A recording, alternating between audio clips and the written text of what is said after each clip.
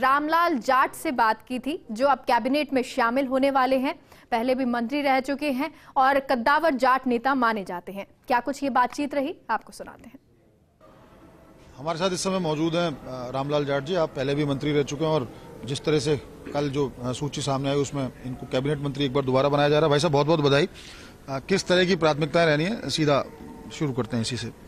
पहले तो मैं फ़र्स्ट इंडिया को धन्यवाद दूँगा कि शुरू से ही, जब हमें ही पता नहीं था, तब से हमारा नाम चल रहा था।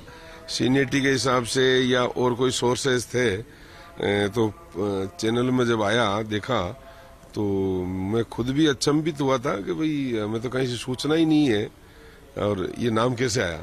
तो उस चीज़ जब केवल खबर ही थी तो सही साबित हुई। जब रात को मैसेज मिला, जब टीवी चैनलों से देखा तो निश्चित रूप से वो सच्चाई आई कि भाई फ़र्स्ट इंडिया ने चलाया। बहुत अच्छा था, इसलिए फ़र्स्ट इंडिया को मैं धन्यवाद दूँगा।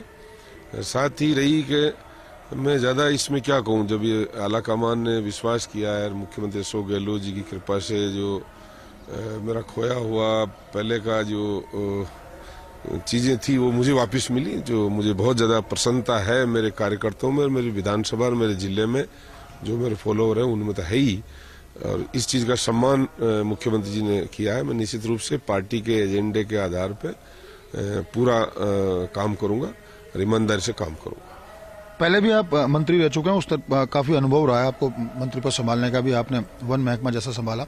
आप डेयरी भी संचालक मंडल में आप वहाँ अध्यक्ष रहे, भीलवाड़ा। आपके ज़िले की प्राथमिकताओं को लेकर के और अगर किस तरह की उम्मीद कर रहे हैं ऐसा कि कौन सा महकमा ऐसा हो सकता है जिसको रामलाल जाट को वो मिले और उसको बहुत अच्छी तरह से वो आगे लेके जाएँगे? ये तो देखो, मुख्यमंत्री जी का विशेषाधिकार होता है, इसमें मैं कुछ नहीं कहूँगा।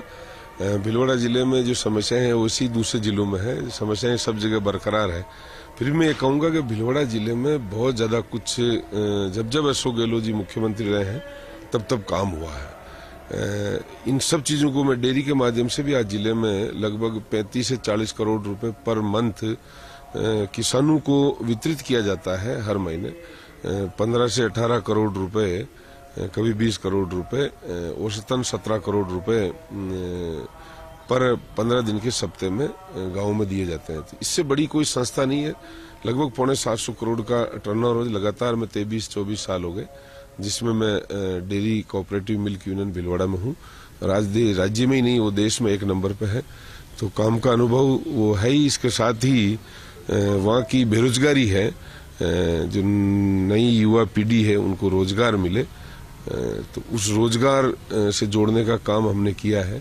आज महात्मा गांधी रोज़गार गारंटी योजना जैसी योजनाओं से भी लोगों को है, डेयरी के माध्यम से भी है, वहाँ टेक्सटाइल इंडस्ट्री है।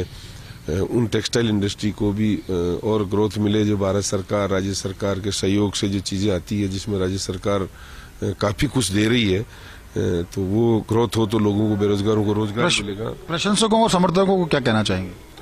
मैं उन सबको धन्यवाद दूँगा। उन्होंने सबसे पहले मेरे मांडल विधानसभा की जनता को जिन्होंने मुझे जिताया और मेरे प्रशंसक जो बाहर भी हैं उन लोगों ने आके मेरी मदद की। मांडल विधानसभा से जीतने की वजह से ही मुझे ये पद मिला। तो उन सबको मैं धन्यवाद दूँगा। और उनके जो काम है, एजेंडा है, मैंने कह रखा है, उन सबको मैं इस कार्यकाल में पूरा करूँगा। यही मैं सबको कहूँगा।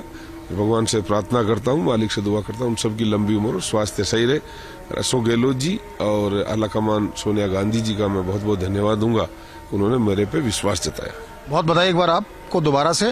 तो आप हैं रामलाल जाट, आप पूर्व में मंत्री रह चुके हैं और आपने कहा कि जो भी मुख्यमंत्री अशोक गहलोत और पार्टी आलाकमान ने उनको ज़िम्मेदारी दी है। निश्चित तौर पर उसको पूर्ण निष्ठा और पूर्ण ताकत के साथ उसको निभाएँगे। कैमरा पर्सन विजय के साथ Nirmal Tiwari, first India news, Jaipur.